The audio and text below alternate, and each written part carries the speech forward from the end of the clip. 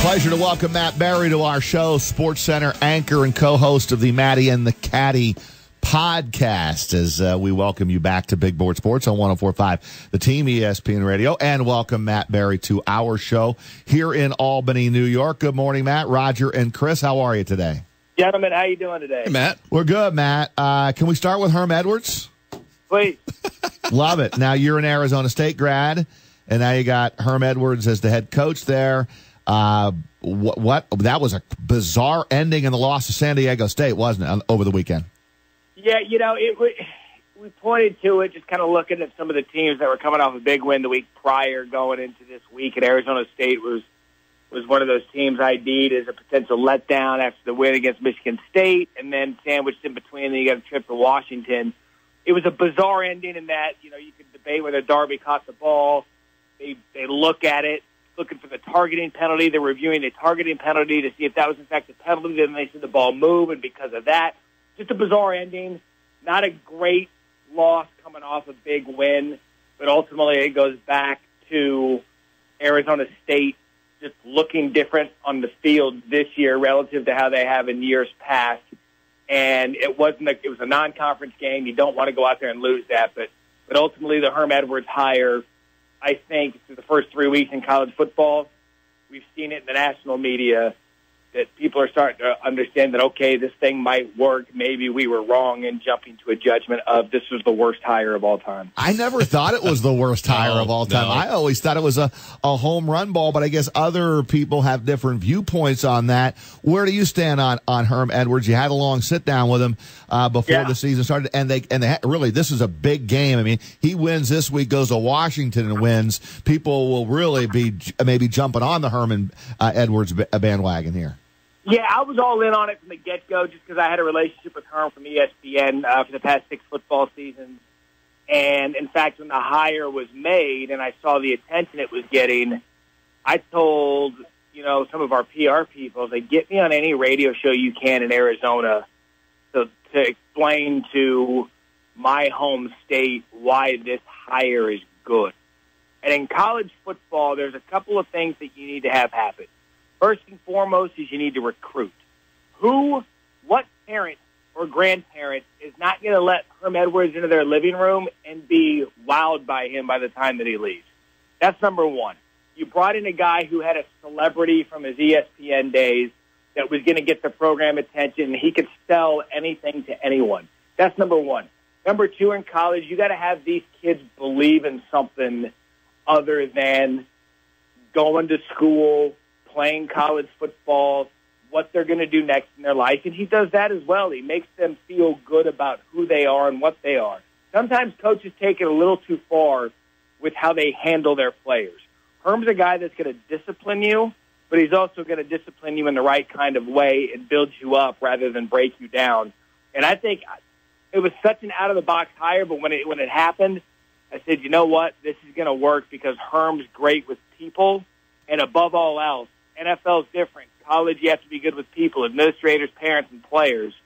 I think long long term, it's going to work well. Matt Barrie with us here, Big Board Sports on 1045, the team ESPN Radio. Check him out on Twitter at Matt Barrie, B A R R I E. And that's where you also find info for Maddie and the Caddy, the podcast. And Matt, we'll get to some golf here in a second, but the games this weekend in college football, uh, in addition to Arizona State, Washington, Nebraska, Michigan has, has some intrigue to it because of the slow start that, that Scott Frost has gotten with the Cornhuskers and obviously the, what feels like a perennial hot seat for Jim Harbaugh. Uh, how do you see that game playing out in the Big Ten? I think it's all Michigan. I think Michigan's going to have their way with them. Um, it, you know, it goes into when you look at new coaches taking over new programs. Here's how I look at it. I look at it in two two columns. One, where was there just a bad football team that didn't have much talent? And two, where was there a team that had leftover talent that didn't perform up to their capabilities? Nebraska was the former. It was Mike Riley just couldn't recruit. Mike Riley didn't have much going on for him there, and Scott Frost is inheriting a team that didn't have much talent. Conversely, if you look at a job like Texas A&M or Florida that Kevin Sumlin and uh, Dan Mullen inherited, you know, you look at what Jimbo's getting with the Kevin Sumlin recruited talent, and then what Dan Mullen's get with the Jim McElwain talent. There's talent there. They can coach that up right away. Scott Frost has more time. And Michigan coming into the season, they had nine of eleven guys returning on defense and eight of eleven returning on offense, and inherited Shea Patterson. They're just a good football team that didn't win in week one. I think that this is going to be that moment now this weekend where Harbaugh and Michigan absolutely destroy Nebraska, and people are going to be like, "Oh, maybe we should get Michigan back into the conversation." Mm. let me let me make a big U turn here real quick. Uh oh. I just looked at my sheet. Uh, what do you? And this is a little bit. Uh, it's it's not off the beaten path, but still college football. What are you making of the Tom Rinaldi interview with Urban Meyer? Why is Urban Meyer doing the interview? It seems like he he kind of in some ways is digging himself a bigger hole that if he just moves on he's been punished we're done with this story go coach your football team and yet we see a lot of tom rinaldi and urban meyer on espn right now i'm glad you asked the question because there is a two part answer one I, I think anyone who wants to get into this industry or just appreciates journalism i thought tom rinaldi put on an absolute interviewing clinic. It was an absolute clinic of how he asked those questions.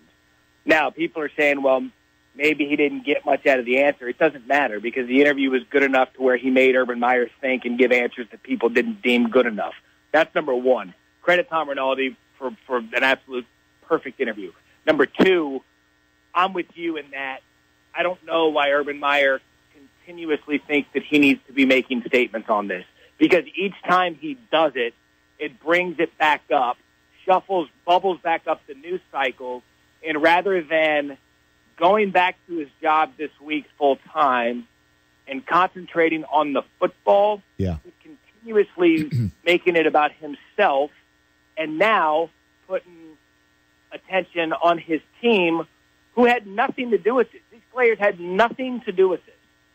And so rather than focus on the football part of it, deal with the personal stuff later. It just keeps bubbling back up, and it's just a bad look for Urban Meyer, even more so than it has been the last month. Yeah, and 100% on Rinaldi. He has done oh, a phenomenal job. Best but but here's my he has. but I'm to the point I don't care. I know I, I, I, I don't care what Urban Meyer says.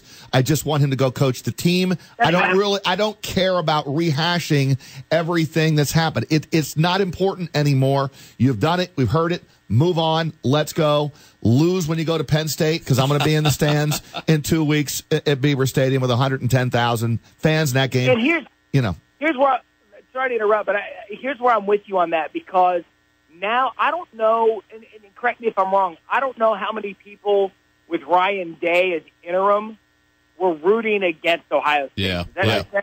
right. Now Urban comes back, and the whole world's going to be rooting against them, and I don't know that's fair to the players. Yeah. Hundred percent. Mm. Yeah. Matt Barrie with us here, Sports Center anchor, Maddie and the Caddy podcast. Uh, Matt, one last thing on college football, and I and we do want to ask yeah. you a couple things on golf here. Uh, but A and M and Alabama on Saturday, I would like to uh, move forth with a motion that Alabama gets an automatic bye into the college football playoff. Don't give them the national championship, but just put them in the playoff because I'm tired of watching them in the regular season. Maybe play yeah, maybe play the Iron Bowl, but that's it it's over. I mean, I we I was having a doing some some prep for the weekend, and I was just kind of looking at, at who they play and then the rest of the SEC West. And here's where I'm at with Alabama. I believe that Auburn and LSU played last weekend are both really really damn good football teams. Like they're really good. I don't think either of them can keep it within double digits with Alabama. Mm. I don't. And Alabama's never, Alabama was winning national championships with Jake Coker. So this, I mean, it's it's it's actually embarrassing how good they are this year because of Tua. And I'm with you. Minus an injury, and even if Tua does get hurt, oh by the way, you got Jalen Hurts who's won 26 career games as starting quarterback at Alabama. This thing is just embarrassing. Yeah, slot him in to the playoff, and then figure. I, I said it this weekend on Sunday on Sports Center. I said to me, looking at college football as a whole, Alabama's your SEC champ. Clemson's your ACC champ, and Ohio State is your Big Ten champ. I mean, where where are we now? That fourth spot's really the only one up for grabs, in my opinion. Well, I hope you're wrong on on the Ohio State prediction. Roger's a I Penn heard State Penn guy. State earlier. Yeah. So uh, I'll be in the house for Penn State, Ohio State in a couple of weeks. Uh, but yeah, we, we love college football. It's great to talk some college football with you, Matt Barrie. What's your thoughts on the uh, Tour Championship uh, this coming weekend? United States trying to win its first Ryder Cup on European soil since 1993. And of course, the Tour Championship this weekend on East Lake Golf Course in Atlanta. Yeah, you know, it, it, there's a couple of things you get to look at. One, uh, what a remarkable FedEx Cup run it's been for Bryson DeChambeau, and I think he's really shown himself to be one of those those next up and coming great American golfers. I think it's a story that Jordan Spieth is not there. Uh, he kind of sputtered down the stretch, but now all eyes are going to point to Tiger Woods again with what he needs to have happen. He needs to win it, have like Justin Rose and Justin Thomas and DJ and some of these other guys kind of not perform well to win the FedEx Cup. But I think that's beyond the point. I, I want to see how Tiger, after a week or so off, how his body comes back from playing three or four consecutive weeks. Because there's a thought that maybe his back was going to get tired in those three or four consecutive weeks. I said it was the opposite. I said playing three, four weeks in a row is going to get his body in good shape. It's going to be the time off that gives it time to be sore and stiffened.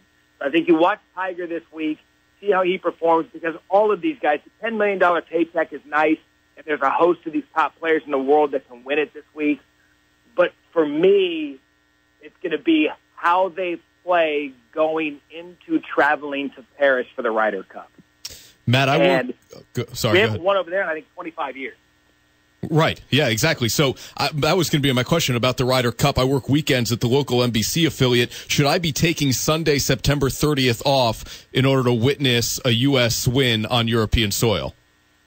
you if you look at the world rankings and who we have relative to who they have, I don't know that I've ever been more confident going into a road Ryder Cup where our guys just have swagger. I know Phil Mickelson's not playing great, but you tell me you bring Phil and Tiger over there feeling good about themselves. And Justin Thomas has a really good arrogance about him. And Tony Finau hits the ball as far, if not further, than anybody on tour. Dustin Johnson, when he's got his A game, I think he's the best player on the planet. I just feel good about where American golf is. And I know once you get over there, it's a completely different scenario, and those guys are going to be feeling good about themselves, and Rory and, and Justin Rose, and they're playing. It's, like, it's just, I just wish, and I've said this for years now, I just wish it didn't coincide with football. Because ultimately, as a viewer, I hate being stressed out as a viewer, and I think the time change will help us. I don't want to have to choose between football and the Ryder Cup. Yeah, That's I'm, too much I'm- pressure. I'm with you all the way. But you're right. The time change will help for sure. Hey, Matt, Yeah, one, one more, I'll let you go. Just Yeah. a prediction. Uh, you, you think Arizona State will win at number 10 Washington this weekend? Do it, man. Do it. No, I don't. I don't think they will. Okay. But and I've and I've said this to a couple of people. It's not. It's not the win or lose for me because of where this program was and where it's headed. It's how they compete. And if they get this into the fourth quarter, to me, that says that it's going the right direction. There's too many freshmen playing right now. Make this a four quarter game, and then you'll have me buying into the fact that this program's going to be different. Well, I'm I'm one of those rooting for Herman Edwards. That is for sure. I just I like his personality for sure, and uh, wish him the best of luck and off to a pretty good start. Matt Barrie, we appreciate a few minutes. Uh, Sports Center anchor, co-host of the Maddie and the Caddy podcast. We'll do this again. All right, guys, take care. Have a Thanks, good. Thank you, Matt. Appreciate it, Matt Barrie. Good job there.